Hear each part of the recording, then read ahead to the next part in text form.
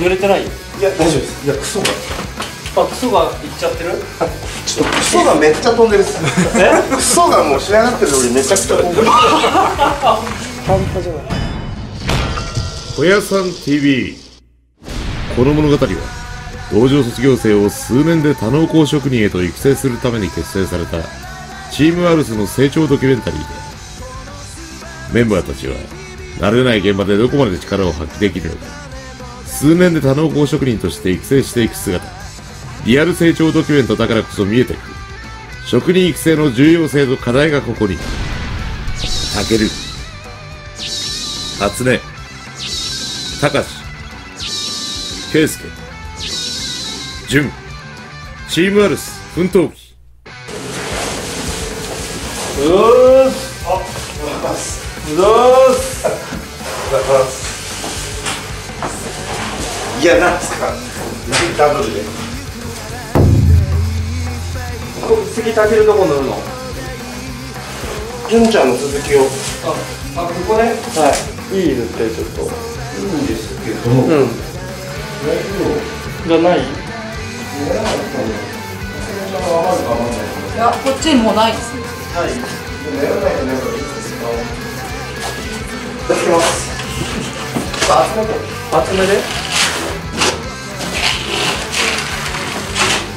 隅まで塗らなくていいんでしょ。線まで塗らないとダメです。え？ダメです。隅まできちんと塗らなきゃダメあまあいやまあいいっすよ。こんぐらいでいいの？かな厚め？集めっていうかはい。まあそれで、うん、カリカリ言わないぐらい遅い？うん、いや、まあ、で。も純ちゃんよりは勝ってるでしいや、ょえマジで？そうでもないと思いますよ。マジで？そんなに、はい。やべえな。まさか。え？私はあの頃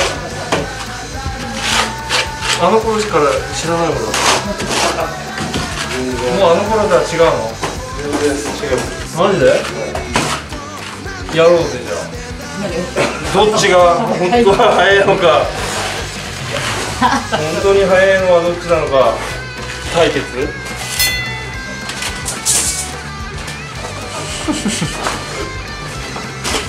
多分これ手がちっちゃいからじゃいや、全然、そんなこと。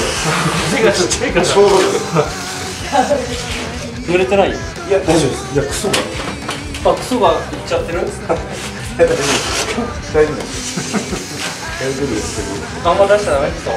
あんまってはい。絶対はい。あ出さないように塗ってくんだ、はい。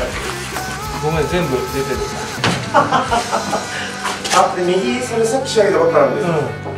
ちょっとあ、クソ出して大丈夫。です。クソ出しといた方がいい、はい。大丈夫。もうちょっと、もうちょっと、どうとかないのないです。本はい。ないです。塗るだけなんで。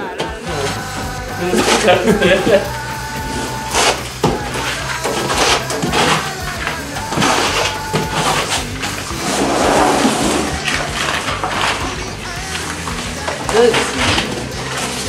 えいや純ちゃんには負けらんないから じゃあクソいっぱいくっつけてじゃあいいそうはダメです。いやクソしか出ない下地誰だ？やったの下地純ちゃんじゃないのかな忘れちゃうんです。あ、怒られます。いや下地がいいなんで、私だってなこんなもんでいい本当？大丈夫です。先もくっついてればいいんですか、大丈夫。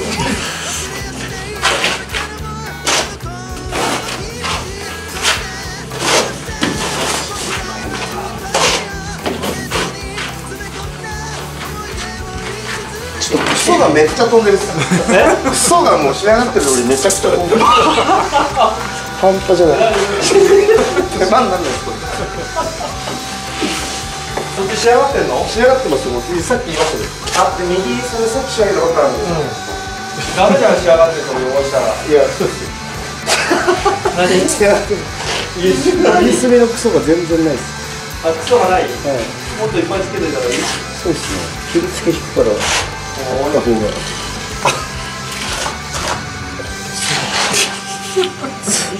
どいのそんなにいやなんか一個すげえのが いうのが一番。お綺麗に取れもうあれ純ちゃんとかそんなそういうのやんないもん特にないっす。ねこの この白いとこに材料を材料が乗ったらいけないみたい。でも俺があっちの方を塗ってきてるのはさ 白いとこに材料がいっぱいかぶってんだって。それをねたけるがブーブー言ってるわけよこれこれこういうのがダメみたい。これ後でたけるがだから指でピッてやっていけばいいから。俺はとにかくひたすら前に進む。後戻りしてね